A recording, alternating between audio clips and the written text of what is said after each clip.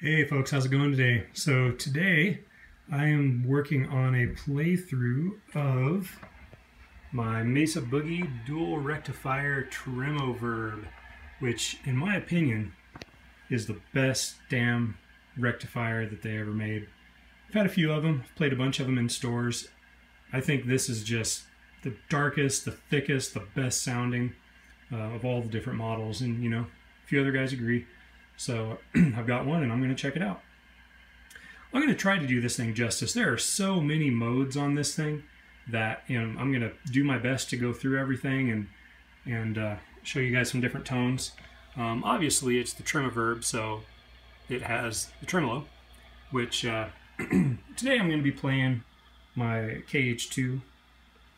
And to be honest, the tremolo sounds really good through guitars that have passive pickups not as good through active, but that's what I got today. So if I ever pick up a guitar with passives, I might try it again. Um, it's got different channels over here. You got your clean, your vintage high gain, your blues, and your modern high gain. Um, fairly similar to other rectos except for that blues channel. Uh, on the back here, it has lots of tubes, lots and lots. Uh, when you see me stick my hand behind here, we're going to be starting out on vacuum tube. First time I stick my hand back behind, I'm going to flip it to silicone diode, which is going to tighten it up a little bit. The vacuum tube's a little saggier. Second time I switch my hand behind here, we're going to be starting on spongy, and I'll stick my hand back here and kick it over to bold. Spongy drops the plate voltage, so it just kind of makes the attack a little softer. Bold, you know, sharpens it up. So for, you know, your blues and stuff like that, the silicone diode and the spongy sounds really good. Uh, you know, for your uh, high gain stuff, the silicone diode and the bold sounds really good. Um, I'm not going to really be getting into the loop today. You can actually affect the, the tone a little bit by manipulating a, just a pass through on the loop, but it's such a slight difference on the recording that I'm not going to bother. and then over here, there's also a channel where you can kind of flip-flop a couple of your modes so that uh, you can dial in what you want your two channels to be. And while that does change tone as well, uh, you know, that's some once again, you know, some real fine tuning stuff, and I'm not going to mess with that today, just because there's just so much to cover as it is. So let me see if I can play a couple things down here on my looper, where I can run some stuff through the, uh, the loop on the input, turn some dials, and see what kind of tones we can come up with. All right, guys, thanks.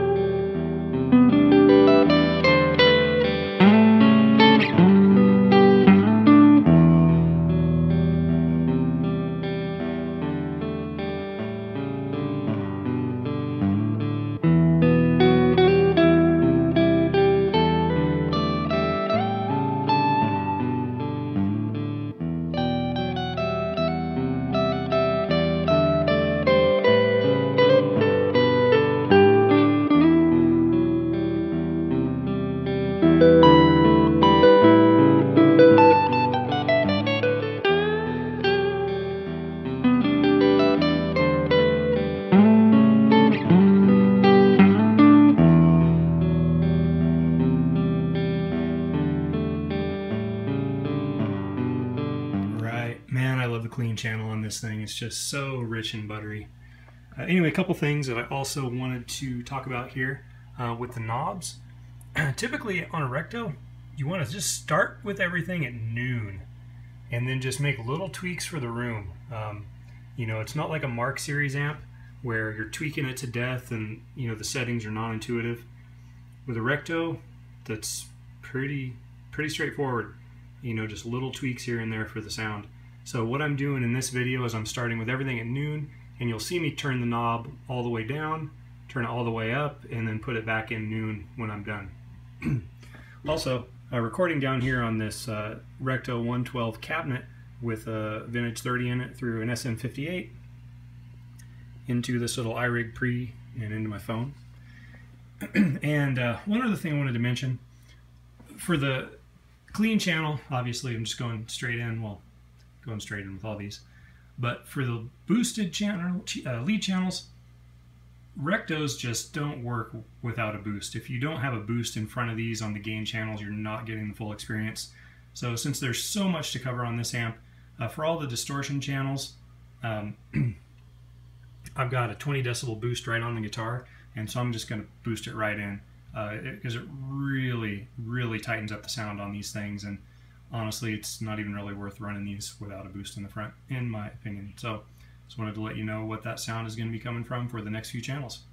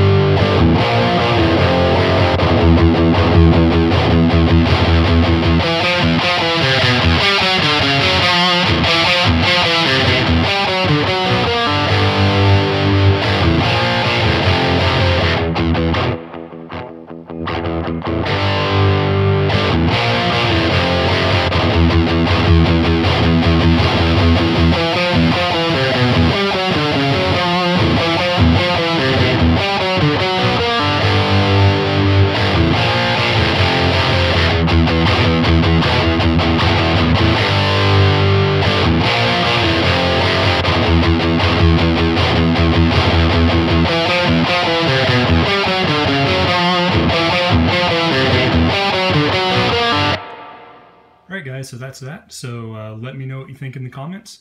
Um, I love this piece of gear. Uh, this head, definitely a keeper. Uh, you know, even on these active pickups, you know, the clean channel is just so sweet on this thing. Um, you know, I thought I got a pretty good representation also on the vintage high gain and on the modern high gain. I have to admit, you know, I feel like I struggled a little bit on the blues channel because I think the active pickups really don't work that well on the blues channel for this guy. Uh, you know, I've played a strat through here and it just sounds amazing. Kind of the same deal with the tremolo. It just it sounds a lot better with those passive pickups. Uh, but anyway, um, overall, this is what you can do with one of these. And you know, I think it's an extremely versatile head. Uh, it can really cover a ton of ground. Um, and I, I think it's amazing. So anyway, I hope you enjoyed it, and uh, see you next time. Bye.